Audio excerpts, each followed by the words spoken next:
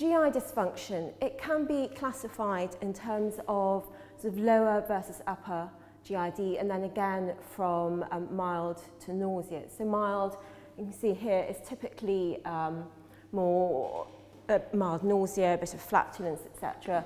Um, and it can lead on to bleeding and potentially death in very rare situations. And that's often associated with sort of more ischemic colitis and heat shock. Um, so it doesn't impact just race performance. Um, I don't know who here does do racing and who's been affected by it, but it also impacts training and recovery quite significantly.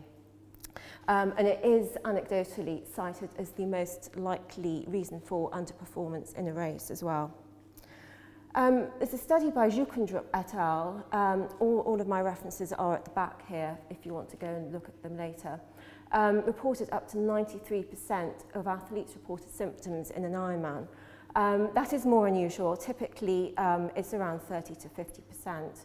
Um, where